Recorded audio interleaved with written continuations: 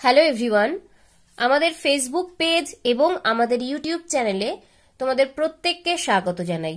তোমরা হয়তো এতক্ষণে বুঝে গেছো যে আমরা এই ভিডিওতে ত্রিভুজের অন্তর্বৃত্ত কীভাবে আঁকতে হয় সেটাই আমরা শিখে নেব। এই অন্তর্বৃত্ত এবং পরিবৃত্ত অঙ্কন তোমাদের মাধ্যমিক গণিত অধ্যায় নম্বর হচ্ছে এগারো। এটা কিন্তু তোমাদের দু একুশ মাধ্যমিকের জন্য সিলেবাসে রয়েছে এবং তোমরা প্রত্যেকেই জানো যে অন্তর্বৃত্ত বা পরিবৃত্ত এই অঙ্কনগুলো কিন্তু পরীক্ষায় আসবেই একশো শতাংশ নিশ্চিত এবং এখান থেকে পাঁচ নম্বর থাকে। তোমরা যদি আমাদের চ্যানেলের আগের ভিডিওগুলো, অর্থাৎ পরিবৃত্ত অঙ্কনের ভিডিওগুলো দেখে থাকো এবং এই যে অন্তর্বৃত্ত অঙ্কনের ভিডিওগুলো এই ভিডিওর মধ্য দিয়ে শুরু হচ্ছে, এই প্রত্যেকটা ভিডিও যদি তোমরা ভালো মতো দেখে থাকো, তাহলে অবশ্যই তোমরা এই পাঁচে পাঁচ কিন্তু পাবেই পাবে। কেননা, আমি আবারও বলছি, অন্তর্বৃত্ত এবং পরিবৃত্ত থেকে অঙ্কন কিন্তু থাকবেই, সম্পাদ্য থাকবেই তোমাদের মাধ্যমিক পরীক্ষায়। সুতরাং আমি বলব তোমাদেরকে যে প্রত্যেকটা ভিডিও খুব ভালো মতো দেখো এবং বাড়িতে প্র্যাকটিস করো। আর তোমরা যারা আগের ভিডিওগুলো, অর্থাৎ পরিবৃত্ত অঙ্কনের ভিডিওগুলো দেখনি, তাদের আমি বলে দিচ্ছি যে কি করে তোমরা পরিবৃত্তের ভিডিওগুলো আমাদের চ্যানেল থেকে খুঁজে পাবে। তোমরা প্রথমে ইউটিউব খুলবে। ইউটিউব খোলার পর সার্চ অপশনে গিয়ে হ্যাশট্যাগ পিঙ্কি একাডেমি লিখবে, ঠিক আছে? হ্যাশট্যাগ পিঙ্কি একাডেমি লেখার পরে দেখবে আমাদের চ্যানেল চলে এসছে। এই আমাদের চ্যানেল, এই চ্যানেলের লোগোতে ক্লিক করবে। তারপর তোমরা চলে যাবে প্লে লিস্টে দেখো, এখানে ভিডিও আছে কমিউনিটি আছে হোম আছে, তোমরা যাবে প্লে লিস্টে চ্যানেলের প্লে লিস্টে যাওয়ার পরে দেখো, প্রথমেই আছে অধ্যায় এগারো, সম্পাদ্য, ত্রিভুজের অন্তর্বৃত্ত ও পরিবৃত্ত অঙ্কন। এখানে দেখো, এখানে ক্লিক করলে তোমরা এই যে ছটা ভিডিও দেখতে পাচ্ছ, এই ছটা ভিডিও হচ্ছে পরিবৃত্ত অঙ্কনের ভিডিও এখানে পার্ট ওয়ান টু থ্রি এখানে পার্ট ওয়ান টু থ্রি দেখো। সব ফোর ফাইভ সিক্স ছটা পরিবৃত্ত অঙ্কন করে স্টেপ বাই স্টেপ তোমাদেরকে বুঝিয়ে দেওয়া হয়েছে। তোমাদের যেটা প্রয়োজন, এক থেকে ছয় নম্বর। যদি তিন নম্বর প্রয়োজন হয়, তিন নম্বর ভিডিওতে ক্লিক করবে। বা অন্যটা প্রয়োজন হলে, পাঁচ নম্বর প্রয়োজন হলে পাঁচ নম্বরে ক্লিক করবে। এভাবে কিন্তু তোমরা প্রত্যেকটা পরিবৃত্তের যে ভিডিও এবং প্রত্যেকটা পরিবৃত্ত কীভাবে অঙ্কন করতে হয়, তোমরা কিন্তু পেয়ে যাবে। আশা করি বুঝতে পেরেছ। এবার তাহলে দেখি আমরা অন্তর্বৃত্ত কীভাবে আঁকতে হয়।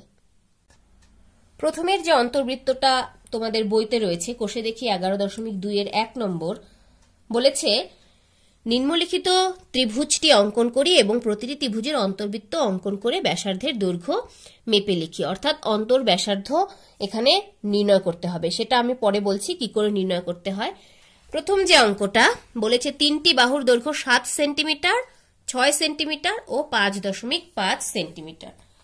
তাহলে যেটা আমাদের আগে করতে হবে সেটি হলো তিনটি যে বাহু দেওয়া রয়েছে, সেই বাহু তিনটি আমাদের স্কেলের সাহায্যে এঁকে নিতে হবে।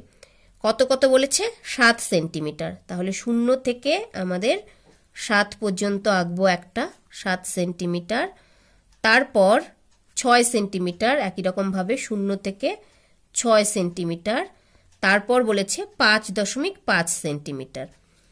তাহলে শূন্য থেকে এই হলো আমাদের পাঁচ, তারপরে পাঁচ দশমিক পাঁচ, তার মানে এখানে। বোঝা গেল? এবার আমরা কি করব? প্রত্যেকটার পাশে লিখে দেব। এটা হচ্ছে সাত সেন্টিমিটার, এটা হচ্ছে ছয় সেন্টিমিটার, এটা হচ্ছে পাঁচ দশমিক পাঁচ সেন্টিমিটার। কেমন? নেক্সট স্টেপ আমাদের যেটা করতে হবে, আমাদের এই তিনটে বাহু দিয়ে ত্রিভুজ আঁকতে হবে। তাহলে ত্রিভুজ আঁকার জন্য আমরা প্রথমেই একটা যে কোনো বাহু আঁকি, স্কেলের সাহায্যে একটা যে কোনো বাহু এঁকে নিলাম। এবার এখান থেকে আমরা সাত সেন্টিমিটার কেটে নেব। তাহলে এই কাটা কম্পাসের সাহায্যে সাত সেন্টিমিটার মেপে এখান থেকে সাত সেন্টিমিটার কেটে নিলাম। এই হয়ে গেল আমাদের সাত সেন্টিমিটারের একটা বাহুর দৈর্ঘ্য। এবার নেক্সট ছয় সেন্টিমিটার আমাদের নিতে হবে। ছয় সেন্টিমিটার নিলাম। ছয় সেন্টিমিটার নিয়ে এই বাহুটার এক প্রান্তে বসিয়ে একটা বৃত্তচাপ আঁকতে হবে। একই রকম ভাবে পাঁচ দশমিক পাঁচ সেন্টিমিটার যে বাহুটা আছে, সেটার মাপ নিয়ে আমাদের আরও একটা বৃত্তচাপ আঁকতে হবে, যেটা আগের বৃত্তচাপকে একটা বিন্দুতে ছেদ করবে। এক্ষেত্রে বলে রাখি, তোমরা কিন্তু এই যে বাহুর যে চয়েসগুলো সেটা কিন্তু তোমাদের পছন্দ মতোও নিতে পারো। মনে করো এই নিচের বাহুটা তোমরা ছয় সেন্টিমিটার করলে, বাকি দুটো সাত আর পাঁচ দশমিক পাঁচ নিতে হবে। এই ত্রিভুজটা নিজেদের ইচ্ছে মতো কিন্তু তোমরা এঁকে নিতে পারো। নেক্সট আমাদের কি করতে হবে? এই ত্রিভুজটা আঁকার জন্য এই যে তিনটে বিন্দু, এদেরকে যোগ করে দিতে হবে। তাহলে আমি এই বিন্দুটা এই বিন্দুটা যোগ করে দিলাম। এবং এই বিন্দুর সঙ্গে এই বিন্দু যোগ করে দিলাম। আমরা পেয়ে গেলাম আমাদের ত্রিভুজ এ বি সি যার বিসি বাহুর দৈর্ঘ্য সাত সেন্টিমিটার এবি বাহুর দৈর্ঘ্য ছয় সেন্টিমিটার এবং এসি বাহুর দৈর্ঘ্য পাঁচ দশমিক পাঁচ সেন্টিমিটার। এবার আমাদের এর অন্তর্বৃত্ত অঙ্কন করতে হবে। মনে রাখবে যে অন্তর্বৃত্ত অঙ্কন করার জন্য ত্রিভুজের যে কোনো দুটি কোণকে সমদ্বিখণ্ডিত করতে হবে। আর পরিবৃত্তর ক্ষেত্রে আমরা কি করেছি? যে কোনো দুটি বাহুকে সমদ্বিখণ্ডিত করেছি। এবার এক্ষেত্রে কিন্তু কোণ এর সমদ্বিখণ্ডক আঁকতে হবে। তাহলে আমরা বি এবং সি কোণের সমদ্বিখণ্ডক আঁকার চেষ্টা করি। তাহলে একটা নির্দিষ্ট দৈর্ঘ্যের বৃত্তচাপ এখানে সেট করতে হবে কাটা কম্পাসে। এই এই ডিস্টেন্সটা কিন্তু আর নাড়ানো যাবে না। একবার ফিক্সড করার পর আর নাড়ানো যাবে না। তাহলে এই কোণটা, আমরা এই কোণের মধ্যে একটা বৃত্তচাপ এঁকে নিলাম। এবার ওই একই দৈর্ঘ্যের ব্যাসার্ধ নিয়ে বা একই দৈর্ঘ্য নিয়ে আরও একটা বৃত্তচাপ দুপাশে বসিয়ে আমাদেরকে কাটতে হবে এই বৃত্তচাপে। ঠিক যেভাবে বাহুর সমদ্বিখণ্ডক এঁকেছি আমরা, একই রকমভাবে কোণেরও সমদ্বিখণ্ডক আঁকতে পারি। এবার এই যে বিন্দুটাতে ছেদ করল, এই বিন্দু এবং এই যে বিন্দু, এই বিন্দু দুটো আমাদের জুড়ে দিতে হবে।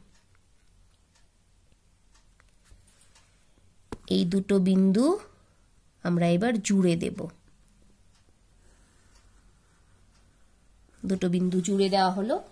একই রকম ভাবে আরও একটা কোণকে সমদ্বিখণ্ডক করতে হবে। মনে করি আমরা কোণ সি কে সমদ্বিখণ্ডিত করব।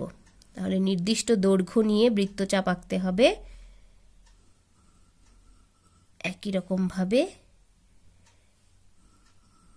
একই রকম ভাবে আবার এই যে বিন্দুটা এবং এই বিন্দুটা, এই দুটো বিন্দুকে যুক্ত করে দিতে হবে।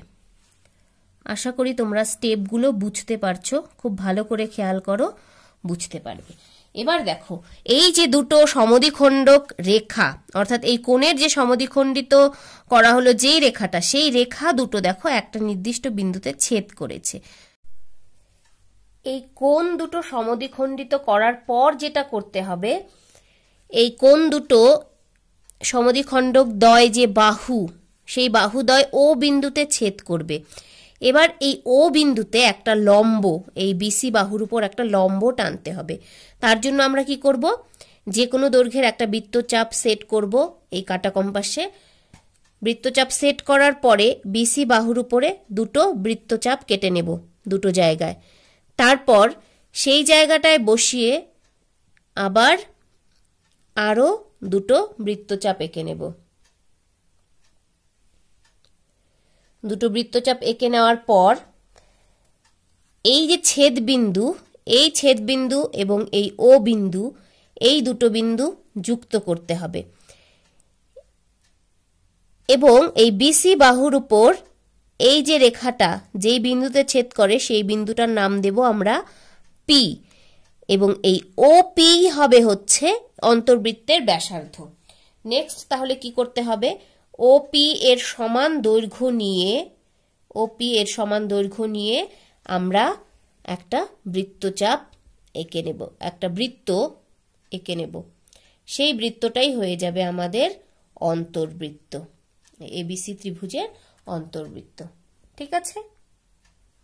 এভাবেই কিন্তু আমাদের অন্তর্বৃত্ত আঁকতে হয় এবং শেষে লিখে দিতে হবে এই যে ব্যাসার্ধটা আমরা স্কেল দিয়ে মেপে দেখেছি যে এই ব্যাসার্ধটা পাচ্ছি এক দশমিক আট সেন্টিমিটার তো শেষে সেটা লিখে দিতে হবে অন্তর্বৃত্তের ব্যাসার্ধের দৈর্ঘ্য সমান এক দশমিক আট সেন্টিমিটার